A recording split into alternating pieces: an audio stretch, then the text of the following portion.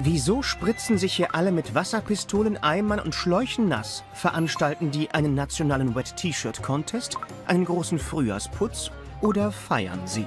Die Antwort ist C. Hier wird gefeiert. 98 Tage nach Ostern wird in Armenien mit Wasser gespritzt, geplätschert und geplanscht. Es ist Vartava, eines der wichtigsten Feste des Landes. 98 Tage nach Ostern ist Juli, das heißt, es ist heiß. Das ist auch gut so, denn im Winter sind es in Armenien gern mal minus 30 Grad. Im Sommer wird es bis zu 40 Grad heiß. Da kommen die Wasserduschen in Jerewan wie gerufen. Auch die Kleinen dürfen an diesem Tag die Wasserpistole laden und die Großen nass spritzen. Und das tun sie liebend gern. Eigentlich ist Vartavar ein heidnisches Fest zu Ehren der Göttin Asgik.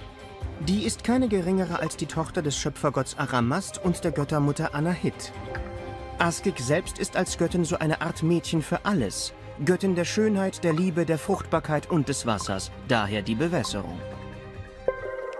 Im 4. Jahrhundert nach Christus wollte Gregor I., der Erleuchter, das ganze Land konvertieren. Gregor war ein bedeutender Mann. Wegen seines Glaubens verbrachte er 13 Jahre in einer Höhle in Chor Virab gegenüber dem Berg Ararat. Später wurde er der erste Katholikos, das Oberhaupt der armenischen Kirche und aus Vartavar macht er ein christliches Fest.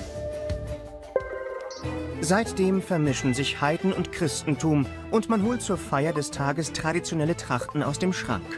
Gefeiert wird die Jugend und ganz allgemein die kulturelle Vielfalt des Landes, aber auch die Einheit eines Volkes, das heute auf 80 verschiedene Länder verstreut liegt. Aber mal ehrlich, ob Heide oder Christ, vom Wasser werden sowieso alle gleich nass.